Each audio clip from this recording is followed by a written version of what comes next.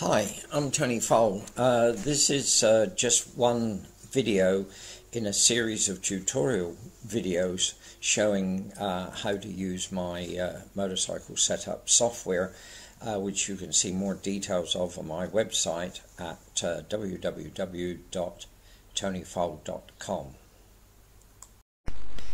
With the improvement in power output and tyres of today's bikes, the subject of anti-squat is far more important than it ever used to be.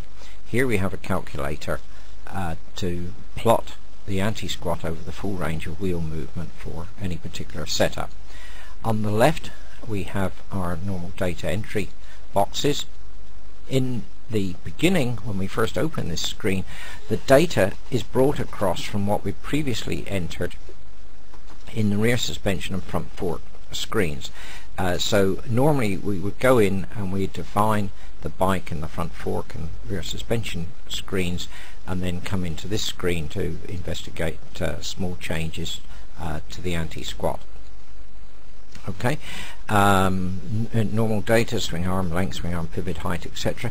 Uh, this uh, tick box here will let us investigate the anti-squat of the traditional shaft drive motorcycles, not the four bar linkage type like the newer BMW Paralever, but any of the older conventional type where the crown wheel housing was fixed to the swing arm.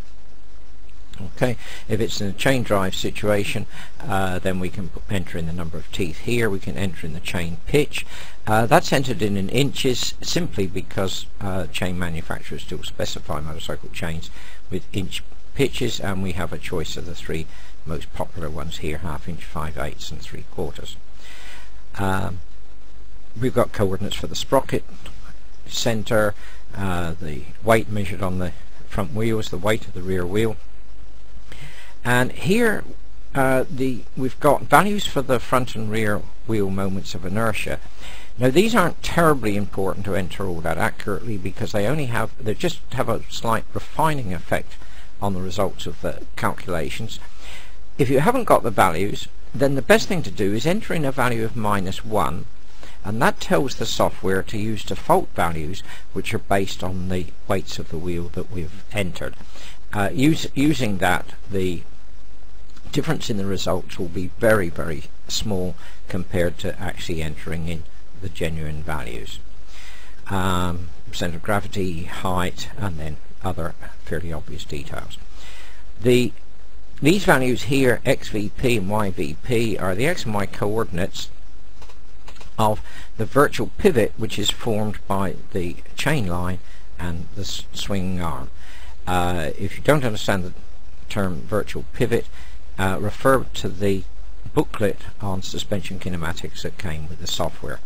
Here as we move around the screen uh, this indicates the coordinates of where the pointer is at least to within the resolution of the screen that you're using.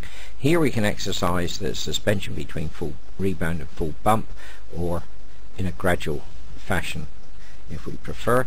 This is quite useful for seeing how close the chain run is going to come to the swinging arm pivot etc in reality. Okay, so when we've got all our data in, it's just simply a matter of uh, pressing the plot button and it draws two graphs for us. The difference between these graphs is simply a difference in the situation of the front fork. The red graph shows when the front fork is fully extended and the blue curve shows when it's fully compressed. Now when we're concerned about squat is normally when we're accelerating and in which case the front's going to be extended to a certain degree whether it's topped out or not we're not sure. So basically what we can say is that these two graphs define the maximum minimum range within which we'll find the anti-squat value for any particular value of wheel displacement throughout the range.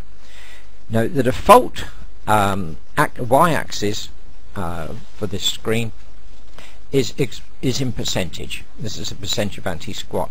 That value uh, depends on having an accurate value for the center of gravity height.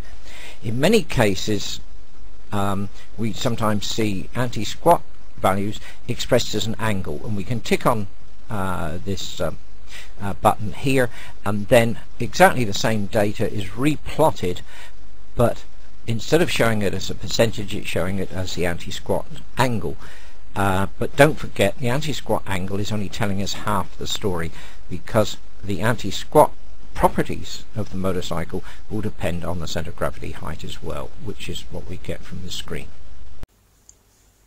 Well, that's it for now. Uh, to make sure that you don't miss any uh, more of these tutorial videos on the motorcycle setup software, I suggest that you tick the like button on this one and subscribe to my YouTube channel, MotoChassis. Uh, for more information about the suspension setup software and uh, my book on chassis design, I suggest you visit my website at uh, www.tonyfoale.com. Thanks for watching.